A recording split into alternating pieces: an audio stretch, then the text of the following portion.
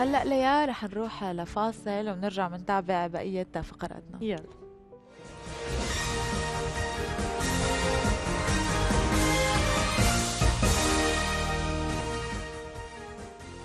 زينب بتعرفي إنه الأرقام والرموز والحسابات بتلعب دور كتير كبير بحياتنا لكل رقم في قوة معينة بتربطه بالكون وبتربط الأرقام أيضا بكل عناصر الطبيعة. لهيك بتشكل رموز قوية ولكل إنسان له رقمه الخاص. أكيد وكنا عم نحكي تحت الهواء عن تأثير الأبراج والكواكب على المود العام أو المزاج العام اللي هلأ عم بيعيشوه العالم. رح نحكي أكثر بهالتفاصيل مع أخصائية الأبراج والأرقام. سمر عمراني سعد صباحك. صباحكم كيفكم؟ تمام. صباح الأرقام والأعداد. اليوم شو الكوكب اللي هيك اللي بيعطينا حظ. اللي عم يزعج الناس. هلا عمليا علم الأرقام هيك نحن متعودين عليه بس هو بالأصل اسمه علم الأعداد. يعني أعداد. الرقم ترقيم بس نحن نعم. هو بالأصل اسمه علم الأعداد. هلا علم الأعداد بما إنه الكواكب مرتبطه السبعة بالإنسان معناته بنتأثر نحن عمليا بمؤثرات خارجية. هلا المؤثرات الخارجية هي عم تصير معنا مثلا إذا انت بدنا ناخذ المريخ المريخ كثير هذا سمعته سيئة بالكون. تراجعه تراجعه تقدمه في عندك عطارد في عندك الزهرة في عندك المريخ في عندك زحال في عندك آه، طبعا كوكب الزهرة. لذلك كوكب الزهرة هي أفضل الكواكب وقت بتكون ببيتها. هلا وين بيتها؟ مثلا بالثور وبالميزان. وقت بتيجي ببيت الحظ ببيت الخامس بتكون تعطي حظ. أما المريخ وين ما تواجد؟ لأنه هو مرتبط بالحمل وبالعقرب بيعمل إشكال وقت بيكون بغير بيته. مثلا هلا موجود ببرج الثور لذلك عامل شوية إشكالات على طبيعة التراب. يعني هلا أنت عندك طاقة نارية عم تحطيها بالتراب شو عم يصير؟ عم يصير لخبطة. ما عم تجي بنفس انسجام الطاقة. يعني وقت اللي بيكون ببيته بيكون بيعطي حيوية أكثر بيعطي حرية أكثر بيعطي تفاؤل أكثر نار مع نار بيعطي قوة وطاقة.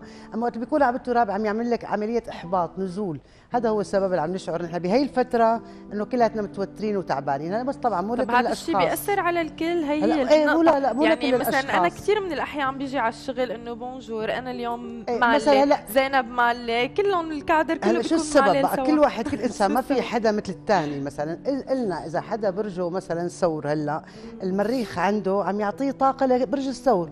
بس مين بالمقابل للثور؟ المقابل هو العقرب. معناته العقرب تعبان. مزعوج هذا هو السبب اللي انت عم ترسمي إنه انت بالحياة تعبانة. بس هو مو الكل تعبان يعني ما بصير يكون كله تعبان. لازم هي الحياة صعود ونزول إلا مثل حركة آه، هي القلب.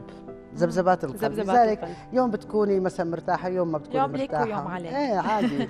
يعني هي تفسير طبيعي إنه الواحد يكون مزعوج. ما حتى الفئة الصبح لها تاثير هلا انت مثلا نحن وقت حكينا الحلقات الحلقة الماضية حكينا عن دائرة الكون.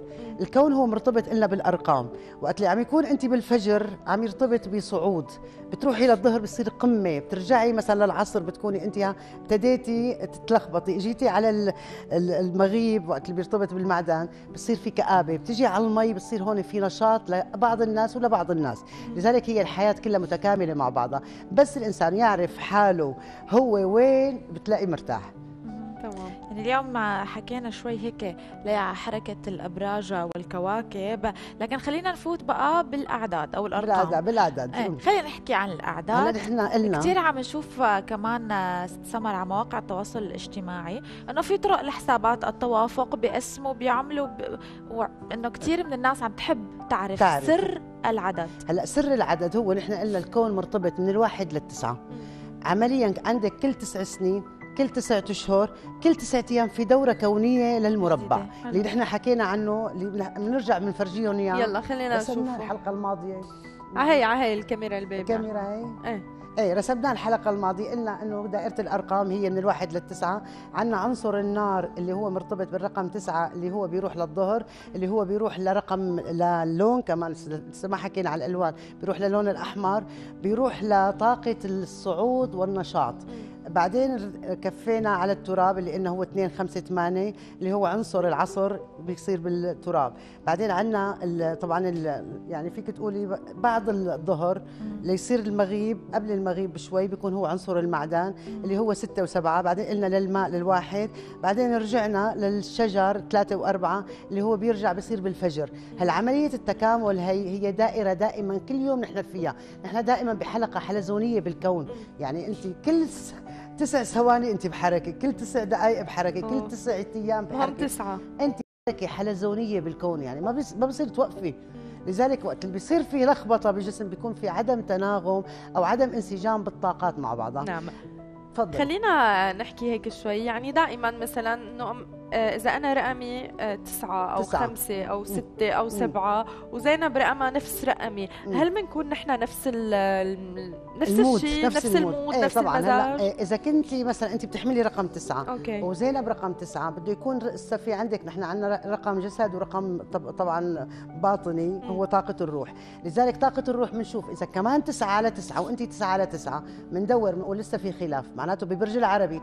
جبنا برج العربي طلعوا كم طلعتوا كمان مثل بعض مثل برج العربي طلعنا على المواليد اختلفتوا بالمواليد.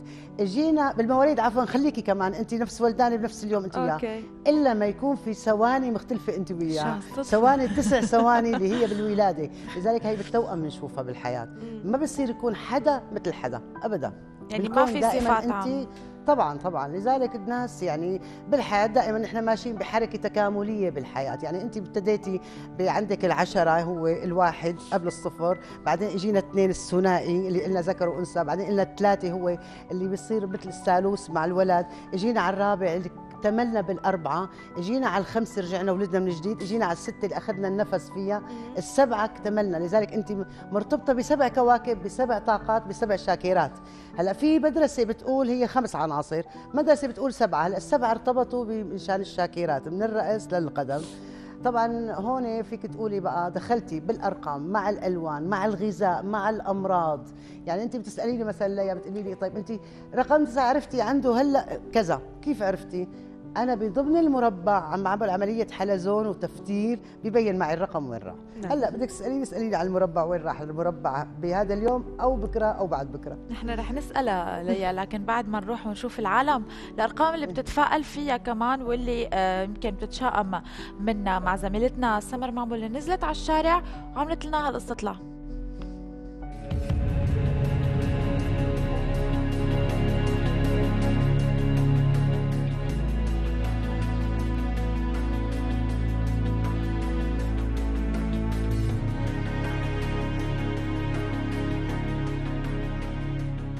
تتفائلي بأرقام معينة بحياتك وعندك أرقام حظ ولا لا؟ يعني في بعض الأحيان بتزبط. يعني أوقات الواحد تاريخ مولده أو هيك بيتفائل فيه دايما. أكثر رقم بتلاقيه رقم الحظ؟ أنا بالنسبة لي رقم سبعة إشارة النصر وهي مسقبة تاريخ مولدي. أنا ما بآمن إنه في أيام حظ أرقام حظ لا. شو هو الرقم تتفائلي؟ سبعة. هيك بحسه إنه يعني آه، رقم كتير متفائل بالحياة. يعني كل الأيام الحلوة بتجي بشهر سبعة. أنا ما بامن في هالقصه ثلاثة. ثلاثة؟ والله هيك على طول يعني دائما ثلاثة بضل محلفني الحظ فيه على طول يعني. لا لا ابدا. ولا عندي أرقام ولا ولا بتفائل بأي رقم. تتفائل بشي رقم بحياتك؟ والله بتفائل بالرقم ثمانية. السبب لأنه آه، مواليدي وخدمتي وكل شيء مر بشيء بحياتي يعني فيه رقم ثمانية ثلاثة. هيك بدون سبب. بحب هالرقم يعني. إيه رقم ثلاثة. لأن اسم الشاب اللي بحبه من ثلاث حروف. أنا ما في رقم محدد. بس آه، يعني بجوز عيد 16 هو عيد ميلادي. رقم ستة. رقم سبعة. تسعة.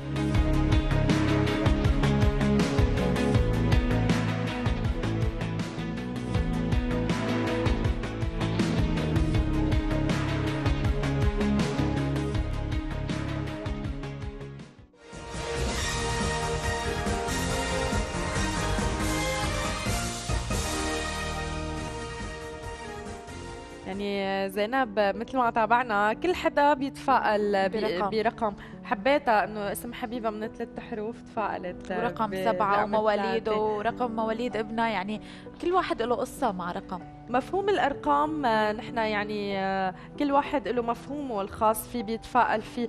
هل تفاؤلهم لبعدين برقم محدد ممكن مثلا يستمر معهم ولا ما له علاقة؟ هلا هو ما بيقدر يستمر الإنسان بالرقم اللي هو عم يتفائل فيه لأنه هي هي هو عم يشتغل على الفطرة. بس إذا عرف يعني الإنسان إنه له رقم حقيقي بالكون ومشي على هالرقم هو بيتفائل أكثر لذلك هي عم يشتغلوا على الاستراتيجيه وعلى الفطرة.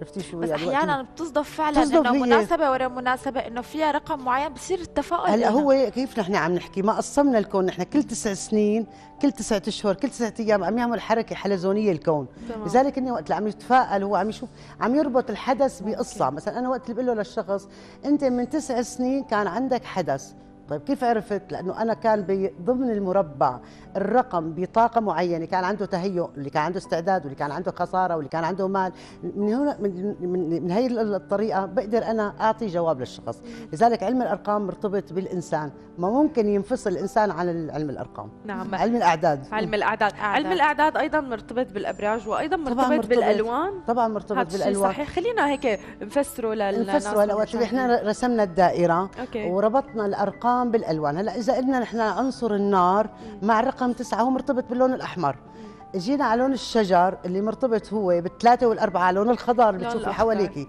إذا إجينا على رقم الماء هو مرتبط بطاقة اللي لونها أبيض بتشوفي مشانك بتلاقي دائما إنه مثل المي صافي. اجينا على المعدن هو مرتبط بلون الرمادي الرمادي بين الأبيض والرمادي ومشان هيك السماوي بيناسبه اللي هو مرتبط بالمعدن. عندك التراب هو المرتبط نحن كل شيء أصلنا من التراب. يعني حتى غذائنا وقت نحن بنعمل غذاء طبيعي بناخده عن طريق الأكل نحن دخلنا طاقة التراب. لذلك الإنسان مؤلف من خمس عناصر بالكون. هالخمسة المفروض يكون دائما بالحياة هو منسجم مع الخمسة. إذا خلل بعنصر بده يلجأ لخارج ليدخل هذا العنصر. نحن هون منبين معنا هي العناصر بالأزواج. مثلا عنصر الشجري آخذ عنصر معدن. طيب اثنيناتهم معاكسين لبعضهم الخلل صار في خلل بالعلاقة.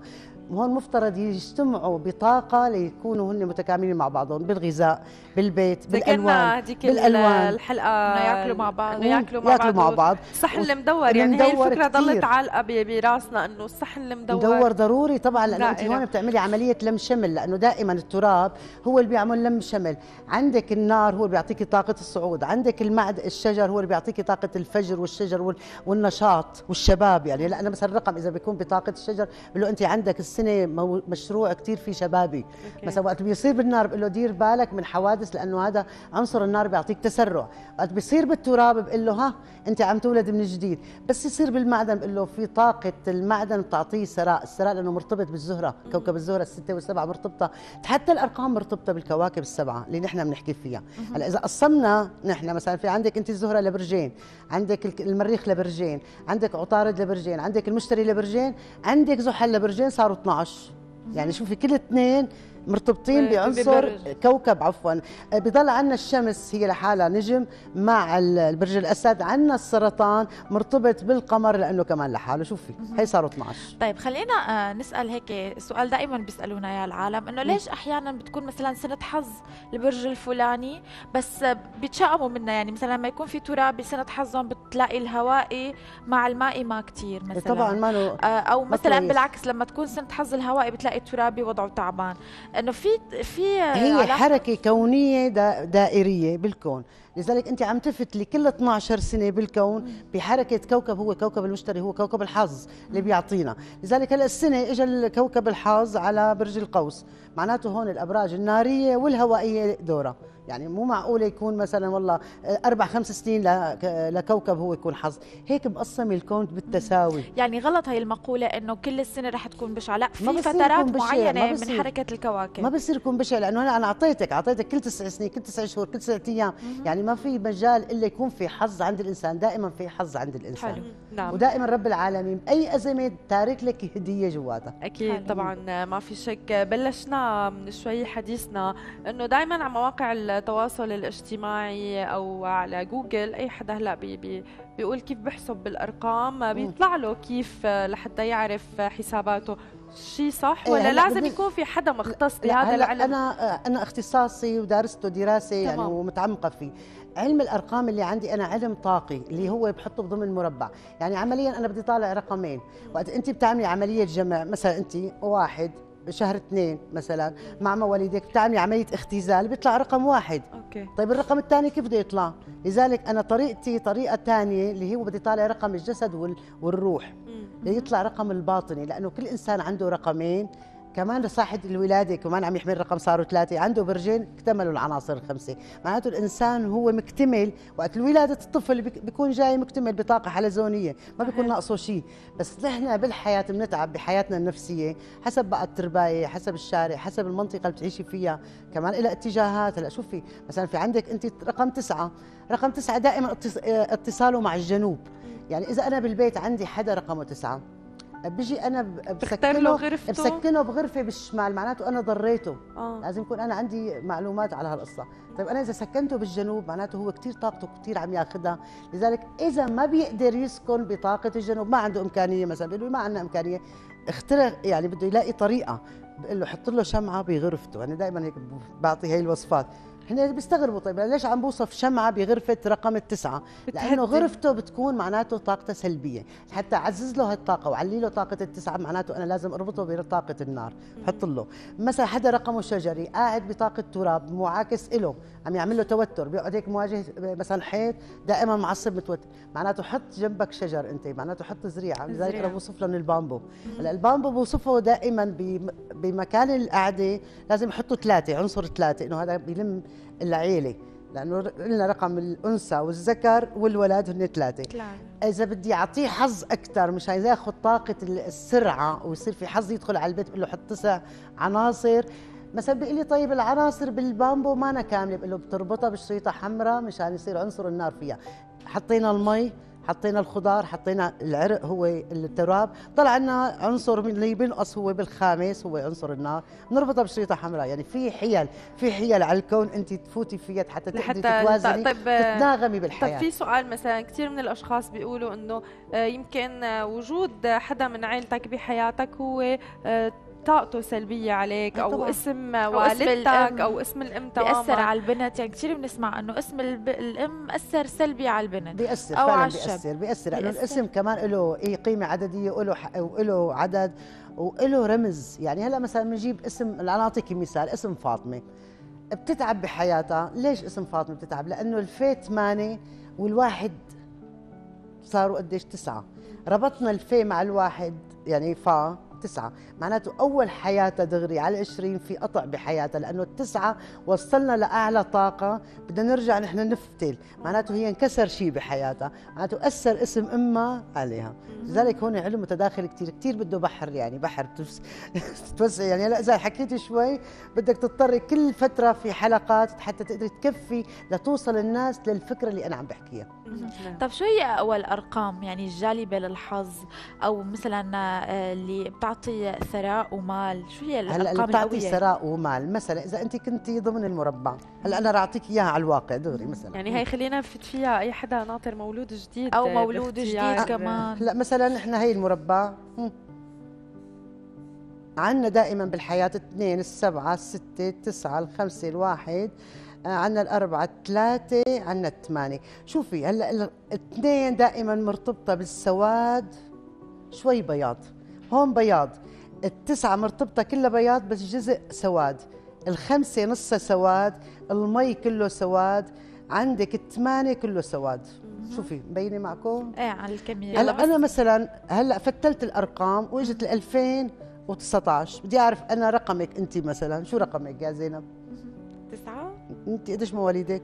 85 85 معناته رقمك ستة. معلش عادي عادي. عادي أنا بحكي رقمها الهواء. ستة. بتطلع أنا كسنة ال 2019 وين ما هو متواجد رقم الستة؟ معناته متواجد بدل الثلاثة. انت دائما بتحسبي لي على الهواء هلا كل. هلأ أنا مثلا طلعت رقم ستة أنا وين موجود هلأ كعام 2019 معناته هو متواجد بدال الست بدال الثلاثة. معناته أنا بقول له للشخص اللي. بيحمل رقم ستة إنه عندك مشروع شبابي عندك انطلاقة عندك تهيؤ عم تتهيأ لسنة كتير حلوة. بعد ما مريت بسنتين صعبين لأنه أنا مفتلي الرقم. نزول وصعود. يعني برجع في تسع سنين فيني قدمه تسع سنين. يعني هلأ بتسأليني مثلا بعد تسع سنين زينب شو عندها بالستة؟ بفتل الرقم ببين معي. طب هلأ في كثير من الناس هيك عم يتابعونا بيقولوا إنه شو هالحكي هذا يعني إنه okay هذا علم بس إنه شو؟ بس أنا صعب بدي ما صعب يعني مثلاً. انه لا أو بدي ما صعب مو مو صعب. صعب. مثلا إنه أنا بدي أقعد أحسب لحالي لحتى أشوف أنا شو يعني بعض الناس بي- بيقولوا إنه شو هذا عرفتي؟ نحن كيف فينا نقول لهم إنه شو هذا هذا علم موجود. هذا علم موجود تمام. من آلاف السنين موجود طبعا وفي حضارات اندثرت وكان هذا العلم موجود معه ورجعت ظهرته من جديد. يعني هذا علم موجود. اللي بده يبحث بيلاقي. مم. يعني أنا ما فيني والله أقنع أشخاص بهذا العلم إذا هن ما عندهم رغبة داخلية. بالتجربة بيبين معك هذا الكلام إذا صح أو غلط. تمام. هي التجربة أكبر دليل. طب اللي كمان مثل ما قالت لي عم يستنوا مولود جديد وبدهم يختاروا له اسم. ورقم بيناسب اسم الأم والأب شو بتنصحيهم؟ شو بتعطيهم هلأ؟ إذا مولود السنة تحكمت السنة فيه ما بنقدر نغير له السنة.